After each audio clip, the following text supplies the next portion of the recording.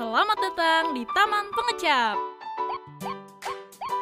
Kali ini kita akan belajar tentang apa itu indera perasa atau yang disebut lidah. Lidah adalah alat indera yang berfungsi untuk merasakan rangsangan rasa dari makanan yang masuk ke dalam mulut kita. Makanan atau minuman yang telah larut dalam mulut akan merangsang ujung-ujung saraf pengecap. Rangsangan ini akan diteruskan ke otak. Kemudian, otak akan menanggapi rangsang tersebut sehingga kita dapat merasakan rasa dari jenis makanan atau minuman itu. Lidah dapat merespon berbagai jenis dan macam rasa. Stop! Hmm? Yaitu rasa manis, rasa pahit, rasa asam, dan rasa asin.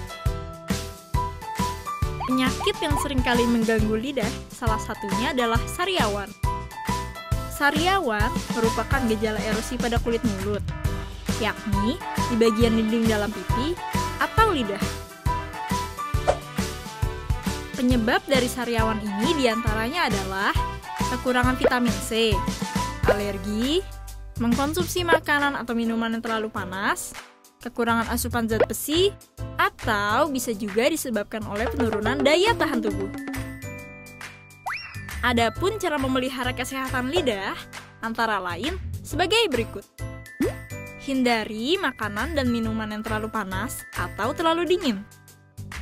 Menyikat lidah saat menggosok gigi.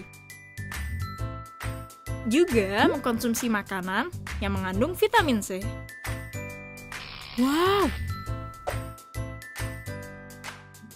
Demikian perjalanan kita di Taman Pengecap. Dah.